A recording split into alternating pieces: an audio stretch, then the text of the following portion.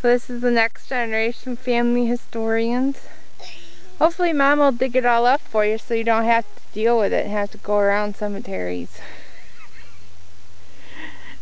Where you going? You gotta find this grave, kiddo. You gotta find great great grandpa. My great grandpa.